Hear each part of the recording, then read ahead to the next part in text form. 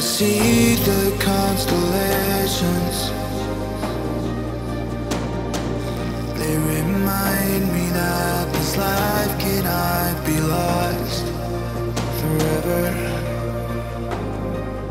I watch my generation.